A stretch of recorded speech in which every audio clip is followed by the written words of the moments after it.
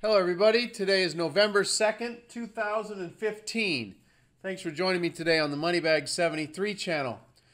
So, Obama wins debt ceiling increase to end of presidency. So, Obama wins and you and I lose. I'm going to be doing a video soon on the national debt. I've probably done about four or five in the last five years as it's been increasing and I'm doing some research now. And I wanted to do a quick video because I came across something while I was doing my research that just totally blew me away. So I wanted to share that with you here. So today, as a matter of fact, Obama is signing the new ceiling increase, which is going to take us up towards 20 trillion by the end of his presidency. So this is a letter. Claims about Obama and national debt are lies. All lies. Actually, the claims about the national debt and Obama is actually the truth. But that gets twisted here by Douglas Bauman because he he's either well, let's just say I'm sure he knows what's going on, but you can see here what he's writing and how things get twisted.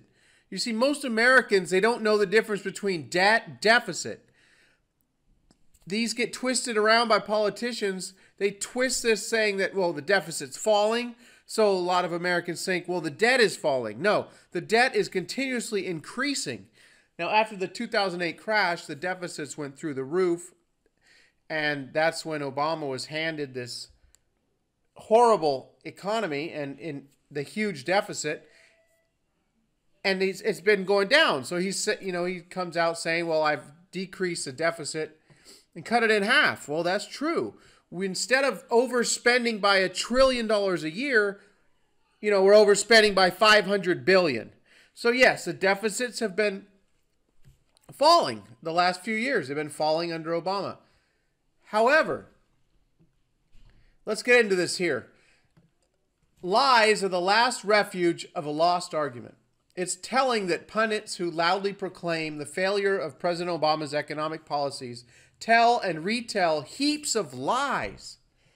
One of the most outrageous and oft repeated lies is that President Obama is responsible for an unprecedented growth in our national debt. It is a lie, and the people spreading it know it's a lie. The facts are okay, here's, here's Douglas's facts the facts are that President Obama has our nation on track to eliminate the deficit by 2017. Great. I don't see that happening. If it did happen, that means that by 2017, we'd be living within our means. Okay? So you have to spend a trillion every year and then narrow it down. And then finally, you're able to live within your means after you just racked up 20 trillion in debt. I mean, what what good is that anyhow? So, okay, so this is in spite of a colossal deficit he inherited by Bush, which is true. There, there's a little truth there. The 2008 budget plan, responsible for creating a huge increase in our national debt, was designed by the Bush administration. Now, let's not forget, we got to point fingers here because this is part of all this twisting that goes on where people think that one party's good and the other party's bad. You know, we live in a two party dictatorship. And anyone who doesn't see that, I just ignore them. I mean, if they're going to say that this party's, you know, tried to do this and the other party that, and uh, just all a bunch of bullshit. And I'm so sick of it pointing the fingers. This party's good, that party's bad. No, we're at $18.1 trillion current national debt it goes beyond 100 trillion with unfunded liabilities from Social Security and Medicare. So so here we have the 2008 budget plan. He's saying was responsible for taking the deficit so high. And then Obama's first allowed budget proposal was in 2010 with trillion dollar deficits and that's when things started looking up. because the deficit was so high, then it started falling. So President Obama, together with Democratic members of Congress, you know, because the Democrats are trying to fix the country and they're what's good for the country, including our own Tim Walz, have made incredible strides in bringing the deficit back to manageable levels. I think you know it's what 400 billion overspent now. We're down to 400 billion. That's manageable. You know, we just spend 400 billion more than than we have. Uh, since President Obama took office, the national deficit has been cut in half. That's true. He was handed trillion dollars a year overspending, and it's down to like 500 billion, 400 billion. So it has cut in half. Nowhere here does it mention the national debt. The title claims about Obama and national debt are lies. Okay, well, the whole time he talked about the deficit. There's nowhere here does it talk about the national debt. This is the twisting that I'm talking about. So people, he says national debt in the title, and then it's all about the deficit, which is a whole different thing. So since President, okay, oh man, this just gets me so pissed off. I, am trying to put together a good national debt video, try and explain the situation. There's people who say it doesn't matter. You know, it's just a fictitious, like Mike Norman. it's just fictitious. It doesn't even matter. We, you know, we can always pay it. We have a printing press. We can always pay it. Yeah, like that has no ramifications. The Republicans, the self-called party of fiscal conservatives. All right, let's uh, give them a little hit on the chin there. They're supposed to be conservative and they're big spenders. Uh, not like Obama, has just been decreasing the deficits as he doubles the national debt. But we're not going to mention that here in this article. Abetted the squandering our national treasury. Those same Republicans, those same bad guys, with help from their Tea Party radicals, attempted to block the president's budgets at every turn. They just wanted to ruin the country, and they're trying to stop everything.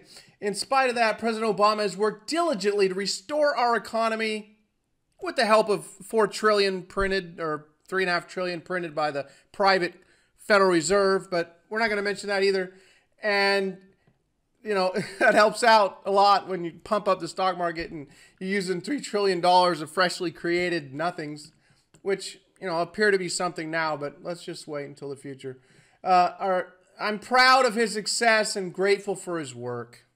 Wow, that's just so nice and warm and cuddly if you're a Democrat and you look at the negative, you know, the bad, evil other party over there.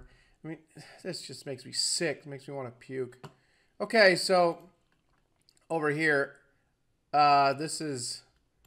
Let me try and zoom in on this a little bit here. I'm sure you can't really see it. August 4th, 2014. So a year ago, but it doesn't matter. Obama's added almost a, 8 trillion to the national debt. We'll say 8.5 now uh, maybe 8.3 or 4.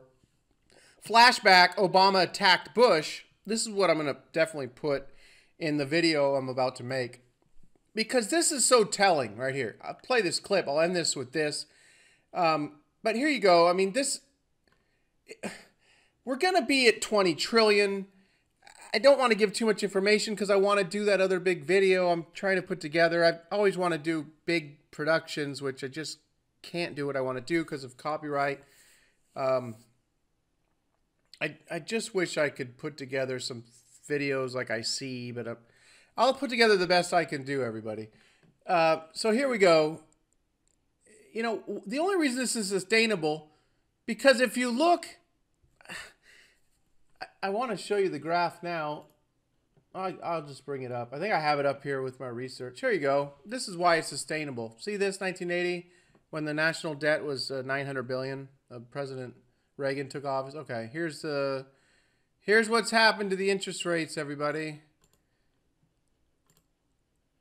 I wonder why this won't increase in size. Anyway, you get you get the scope of it. We're down here on the 10 year at 2.1.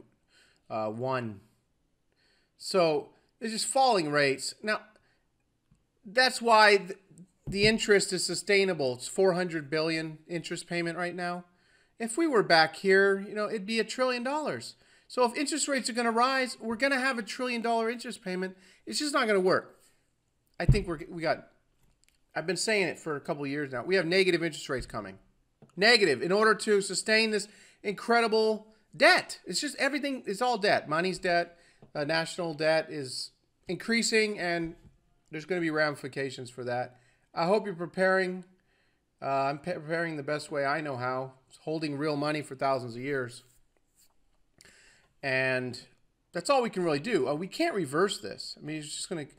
The, the writing is on the wall. I've been doing videos, 500 videos. I've been doing videos for years. I wish I could still do as many as I used to. Very busy now. Things have changed. I'm out there. I'm uh, driving for Uber. I'm doing a few other things, Help my wife with her small business.